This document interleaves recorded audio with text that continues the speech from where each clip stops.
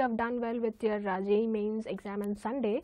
So this year JEE has a speciality because uh, the board exam percentage which you get will not be taken into count, count for uh, your rank you get after JEE mains.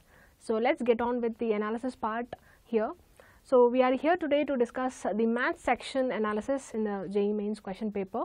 So if you see the weightage given to 11th and 12th syllabus, this year 12th syllabus has got a more edge because 60 percent weightage is given to 12th syllabus and 40 uh, percent for the 11th and if you see the topic wise breakup as usual and as expected we have got uh, integral calculus, differential calculus, probability and coordinate geometry as a major chunk in the question paper. So, those who have prepared well for in these topics would definitely score well and uh, coming to the difficulty level analysis uh, we have got more than 50 percent questions are of uh, average level and uh, some 20 to 20 percent are of easy level.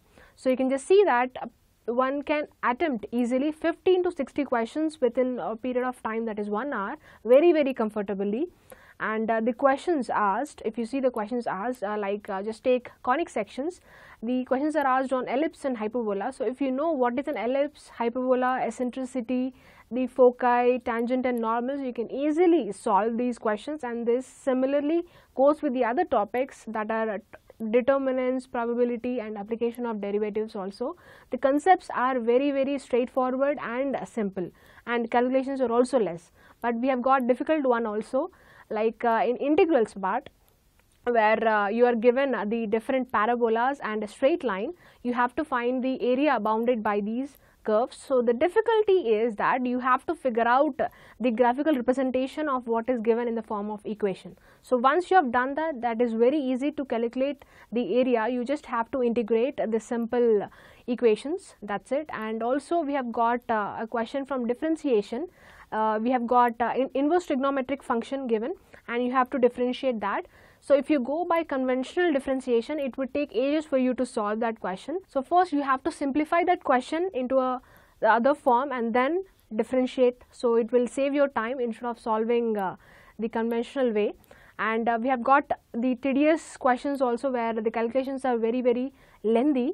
That are questions are uh, quadratic equation uh, where we have got the roots given here two consecutive numbers, the roots are two consecutive numbers for the quadratic equation. First we have to simplify the quadratic equation and then use the clue that the difference between the roots is 1.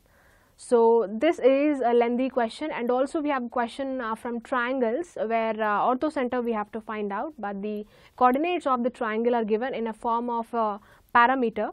So, you have to uh, first find out uh, the coordinates and then find out the orthocenter. So, this question is also a lengthy one and the calculations are also tedious. So, coming to the other tricky part that is integrals. So, we have got a question uh, where we have to find out uh, the integral of tan to the power of 4 plus integral of tan to the power of 6.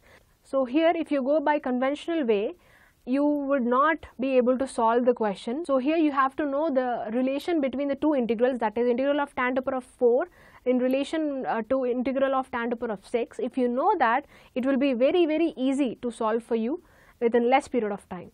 So, overall after seeing all of this you can say that uh, the paper was an average paper. The concepts are very very simple, but the calculations are bit lengthy here. So, those who have break down the concept very fast and are efficient with the calculations. So, for those people this paper is a piece of cake. So, that is it guys and I hope all the best for your coming exams that is uh, those people who have yet to give the JEE mains on uh, Sunday and Saturday and I, I hope all the best for JEE advance also and thank you guys.